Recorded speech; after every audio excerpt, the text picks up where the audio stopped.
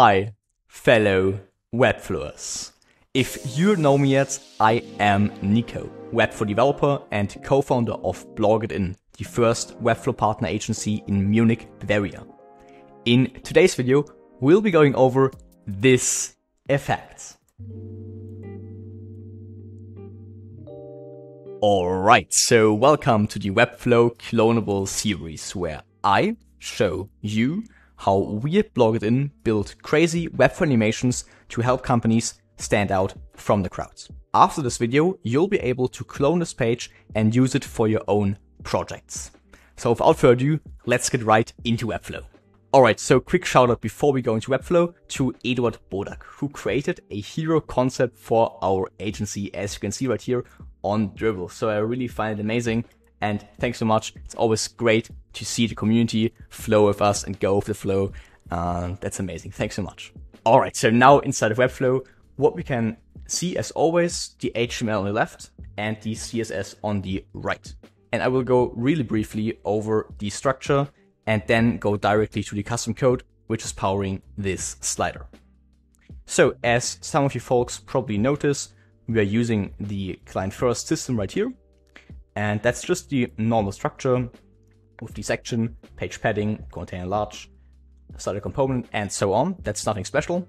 Okay, and that's right here, the slider, which you can see right here is powered by the Webflow CMS, which basically means that the whole slider can be, yeah, updated by the client on its own without the help of developers.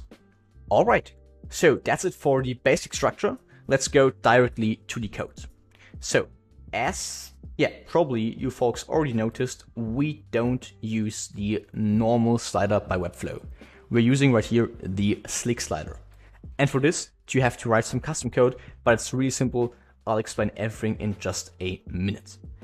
So first thing you have to do is you have to call the slick slider CDN to use the slick slider library. And then that is right here the important part, which I will go over. You basically have a variable, which you call slider in this case, and then use yeah, a class uh, for which you put on the variable. And in this case, I've got the class of isBlock.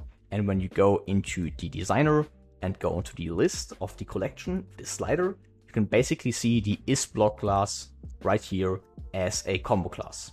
So this combo class is powering the slider. Okay, and then we have the variable of slider and we're calling the slick method on it. And then we have a lot of different functions to choose from. I won't go over every function of Slick.js. I would highly suggest you to go into the documentation and read these functions because there are, there are a lot of them. And there may be the correct one for your project. So we have, for example, the infinite method. If you have, let's say, five sliders, five slider items, these five slider items would repeat infinitively, means there's no ending. Then we have center mode, where you can basically focus on the center of the slider and then have only one on the right and one on the left. Then we have variable width, where for example, you have a slider where one item has a length of 200 pixels and the other one has a length of 350 pixels.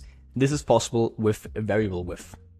Then we have slides to show of four, pretty obvious how many slides you want to show. Then slides to scroll, how many slides you want to scroll per click.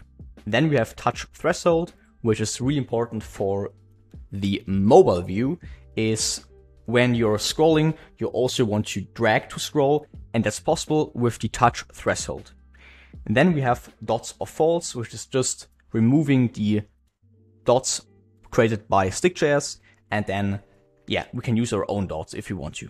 Then we have a prev arrow and a next arrow where we are also calling the class on it. And if I go into the corner or onto the arrow right here, you can see that the same class is applied on this slick arrow. All right, and then we also have the option to make it responsive with the responsive method and select different options for different breakpoints. In this case, you could just say on the breakpoint or everything below 989, there is the slider infinite true, and you're only showing three slides at once. It's draggable true, it's touch move true, and swipe to side true. These are just different options that you can use on different breakpoints. Okay, and that's all there is to the slider code. Let's again go onto the live side and I want to show, show you the editor view. And right here, you can basically see how it looks like for the client. And if a client, for example, wanted to add a product or edit a product, he could go into the collections, onto products, and then right here could, for example, go into one of the oils and then edit the name how he likes to it, and then just hit save and then publish it to a live site. Alright, so that's it for the Webflow tutorial for today. If you want to learn more about Webflow and its beautiful animations, then you can visit our website. It's the first link in the description. Without further ado, Gonna see you in the next Webflow video, and till then, happy coding.